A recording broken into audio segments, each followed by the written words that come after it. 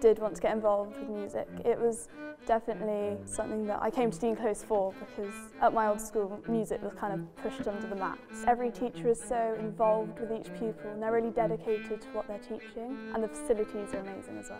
I've been able to play with fantastic musicians and that's really pushed me to want to become a best musician myself. Nothing's been impossible really. Getting to grade 8 I never thought would happen but I'm there. I found that I reached a certain level when I could easily pick up a piece of music and I'd learn to love the music instead of just playing it. And it's the whole experience that comes along with it. Being able to sit in an orchestra instead of having to worry about learning it, you can actually just have fun and play. The music community at Dean Close is so inspiring because I've always been playing with musicians that are amazing and older than me and I'll be playing an orchestra then I'll have to go and sing in chamber choir and it's just everyone's so accepting of everyone doing different things. It's been great because you also get to meet people that aren't necessarily in your year and you may not meet outside of music but you create good bonds with them. Everyone's very supportive of everyone and each other for where we get to. My fondest memory at Dean Close so far is being in all the shows. Whether it's a concert and the build up to that, the excitement for it or a musical, it's just such good community and it's just